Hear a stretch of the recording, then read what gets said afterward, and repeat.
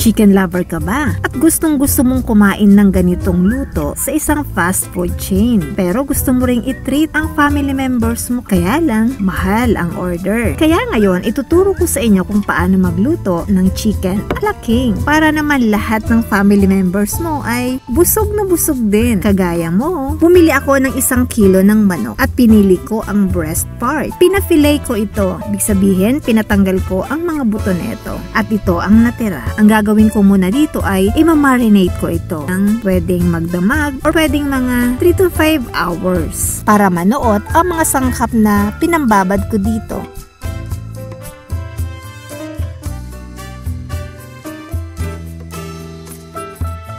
Ang pang-marinate na ilalagay ko dito ay 1 tablespoon ng garlic powder. Nabibili po ito sa mga grocery stores or kahit sa palengke meron din or 1 half tablespoon ng asin or salt and then paminta kahit mga 1 half teaspoon. Maglalagay din ako ng paprika, nabibili lang po ito sa palengke. Tingi-tingi, pwedeng makabili ng 10 piso, ganyan. So haluin lang natin ito.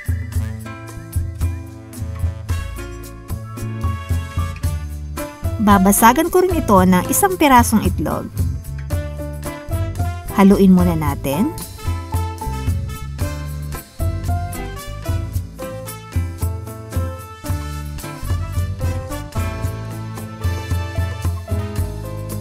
Maglalagay din ako ng 1 half cup ng all-purpose flour and 1 4 cup ng tubig. So haluin ko lang muna ito para mag-combine lahat ng ating pampalasa. Ang panimplang gamit ko dito or seasoning ay gagamit ako ng 1 half chicken cubes bilang pampalasa niya. Yung kalahati po netong broth cubes na ito ay isinama ko sa 1 cup ng tubig para maging chicken broth at gagamitin natin yon mamaya. So haluin lang natin ito.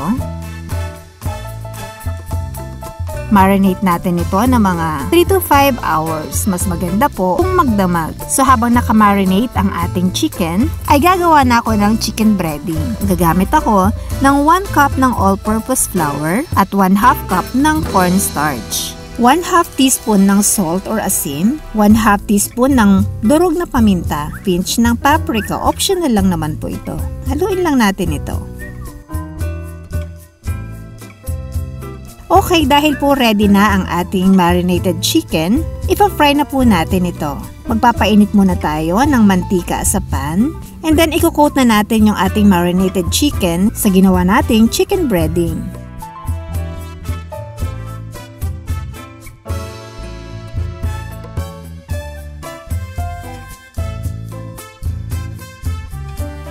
And then, ipa-fry na po natin ito.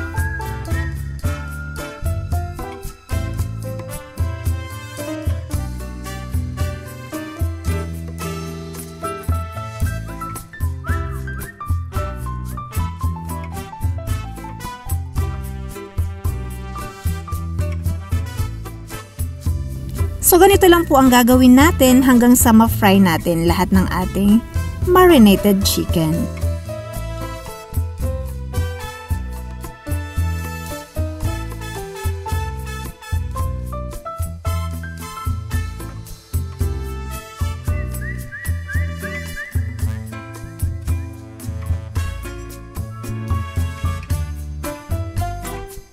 Ngayon naman ay gagawa na tayo ng kanyang sauce. Sa isang pan naman ay maglalagay ako ng 1/8 to 1/4 cup ng butter, 1/4 cup ng flour.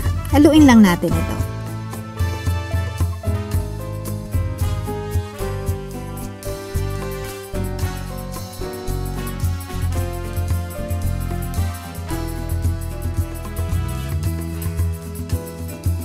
Maglalagay uli ako ng garlic powder, carrot na hiniwa ko ng maliliit,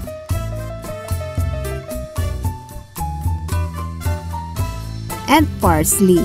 Ang parsley po ay nabibili lang po sa palengke. Pwede po kayong tumingi kahit mga 5 piso lang. Pwede na po yun. Maglalagay din po ako ng chicken broth. Pinakuluan ko lang po yung 1 cup ng tubig at naglagay ako ng kalahati ng chicken cubes. So haluin lang natin ito.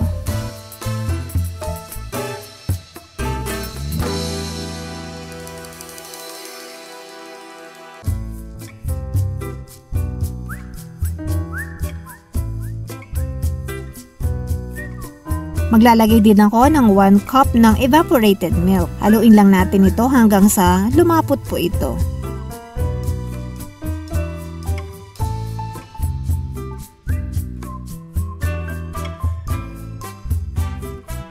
Maglalagay din ako ng 1 half teaspoon ng salt at pamintang durog. So haluin na po natin ito hanggang sa lumapot ito.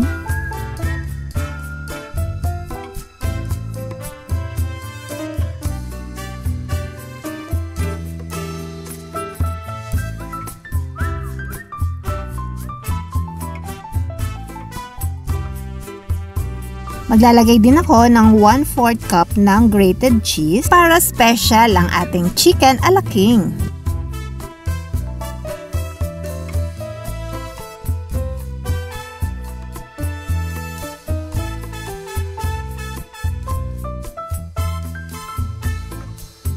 So ito na nga po ang ating sauce. Luto na po ito.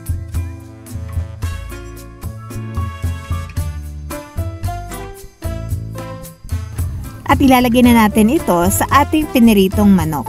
O ayan, nakita nyo naman, sarap tingnan.